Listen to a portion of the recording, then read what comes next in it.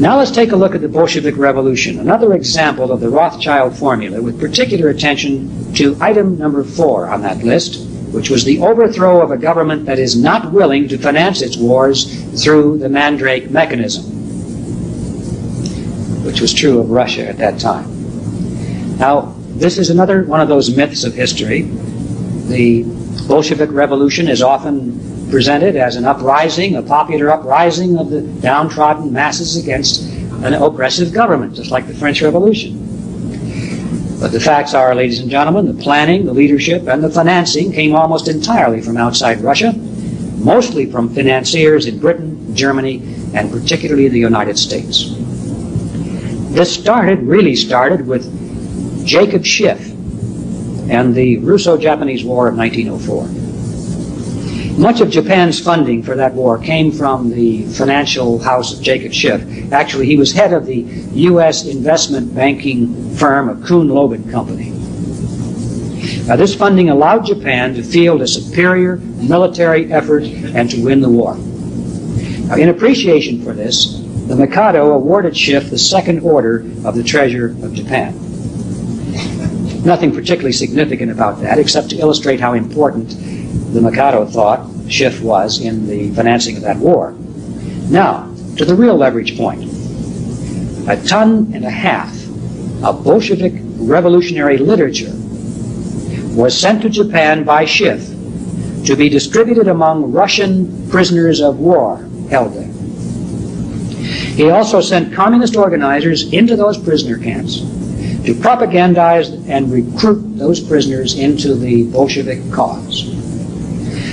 In effect, ladies and gentlemen, at the end of that war, there were about 50,000 officers and enlisted men who returned to Russia as seeds of revolution and played a decisive role several years later in the communist takeover of Russia. As you know, it was the turning of certain military regiments that was critical during the Bolshevik Revolution. These regiments were effectively uh, converted to the Bolshevik cause because of this propaganda activity in Japan, financed and masterminded by Jacob Schiff.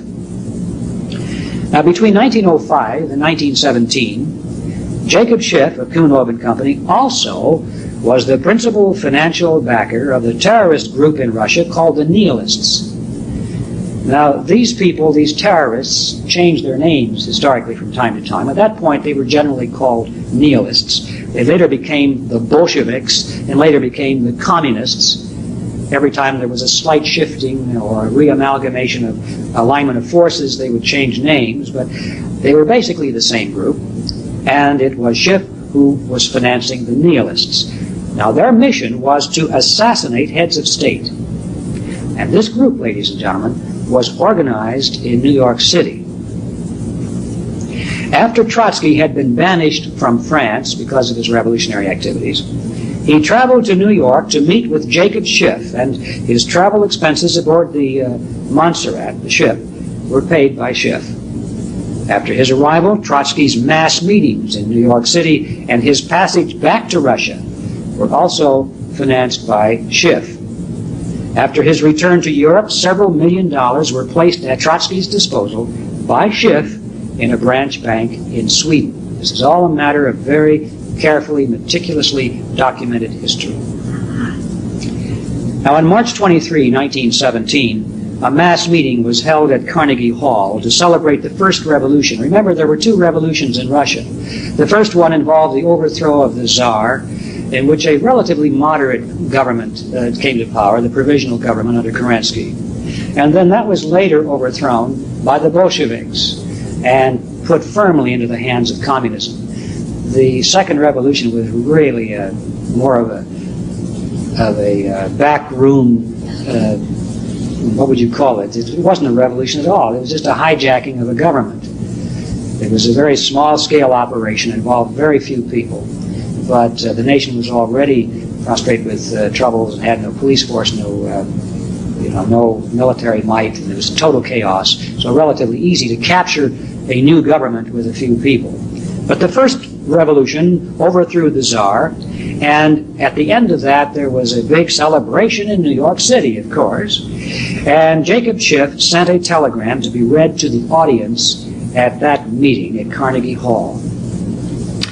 In that telegram, he expressed his regrets at not being able to attend, and then he said that he described the revolution as, quote, what we had hoped and striven for these long years, end quote.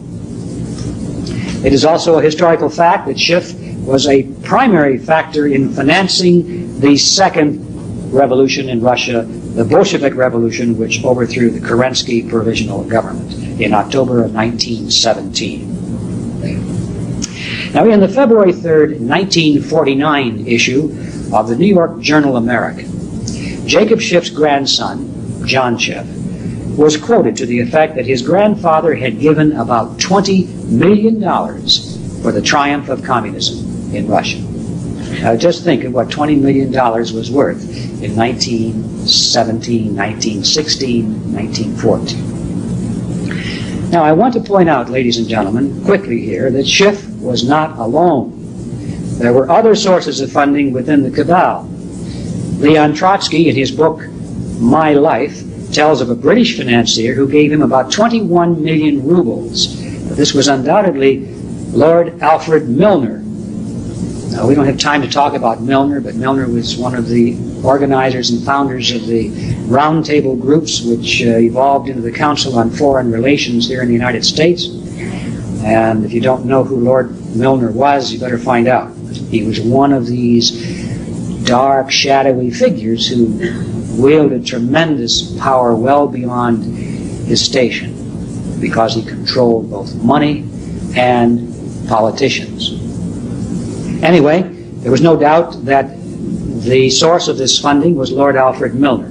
Now, other sources of funding for the overthrow of the Tsar and the establishment of Bolshevism were Olaf Aschberg of the Nye Banken in Stockholm, the Rhine-Westphalian Syndicate, and a wealthy banker named Jivotovsky, whose daughter later married Trotsky.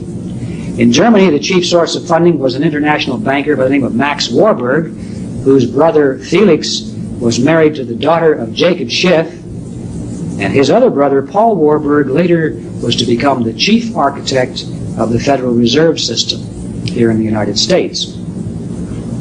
Now, Russia was teeming with British and American agents at that time. There was no secret about this. There were many foreign reporters and observers who were sending back communiques, many of which wound up in the American press, some of which were private communiques. Many observers were telling how Russia was swarming with Americans and, and Englishmen. And these people had suitcases full of money, and they were handing out money to revolutionaries primarily those in the military barracks, trying to get to incite them to revolution. Uh, one report said, for example, that British uh, agents were seen handing out 25 ruble notes to the men at the Pavlovsky Regiment just a few hours before it mutinied against its officers and sided with the revolution.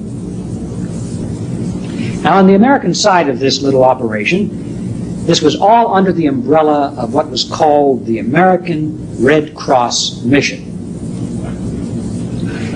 Now, I'm not casting an aspersion on the Red Cross, because you understand that the Red Cross is made up of many different missions in different countries and so forth. And it turned out that the American Red Cross mission to Russia was a very special breed of cat. It had practically nothing at all to do with the Red Cross.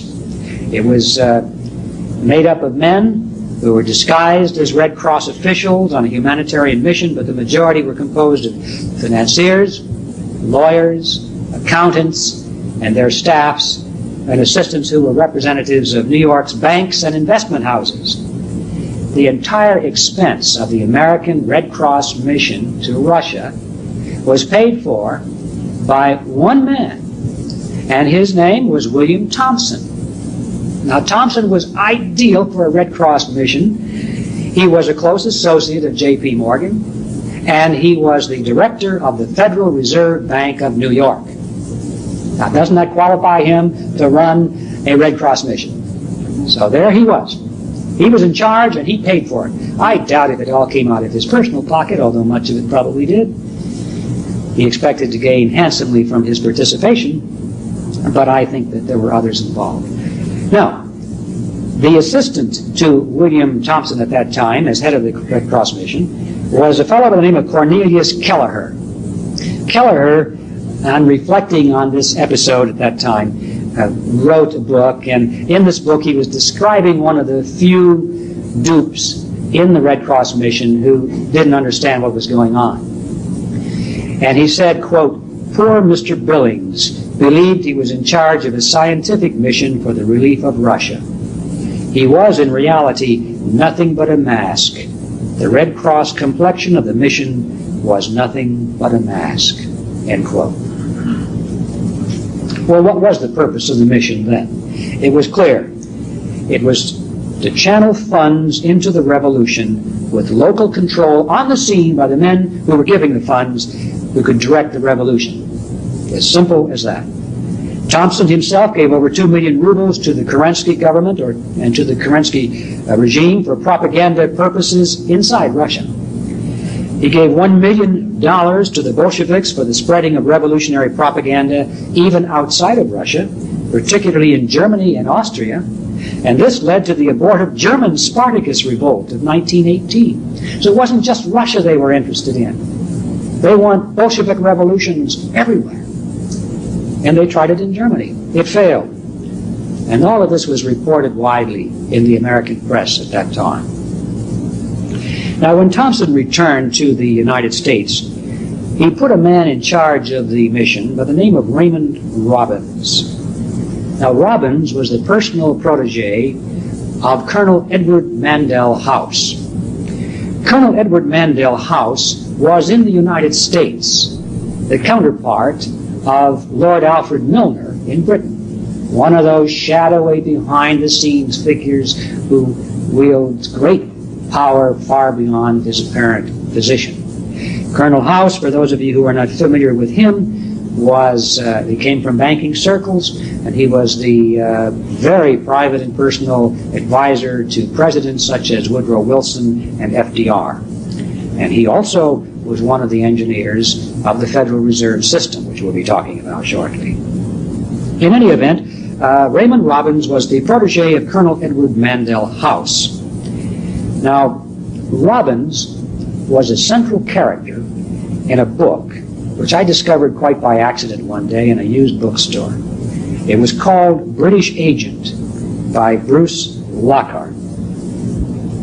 Lockhart was Milner's man in Russia. This gets kind of involved, but what we're dealing here with is two shadowy figures. In the United States, the shadowy figure is Colonel House, and his protege is Raymond Robbins in Russia. In England, the shadowy figure is Lord Alfred Milner, and his protege is Bruce Lockhart. Now, they're over there doing official work on behalf of the powers that be, but they're doing it under disguises, as humanitarians or reporters or something like that. Now, ladies and gentlemen, what kind of power do you suppose these men represented? To ask the question is to answer it.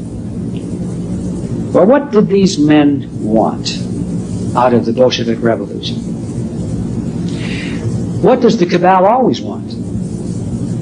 If my thesis about the master plan is correct, it wanted three things. The overthrow of the Russian imperialist government, which would not borrow from a central bank, and the establishment of one that would. Two, the creation of a hostile, aggressive regime which would threaten Europe and later the world with war. Three, above all, it wanted the vast profits that could be extracted from the human and natural resources of Russia. I personally believe it obtained all of these objectives. And I think it continues to enjoy those objectives today, although some of them may be a little more hidden from view. We'd love to talk about that, but we don't have time. We have to move on.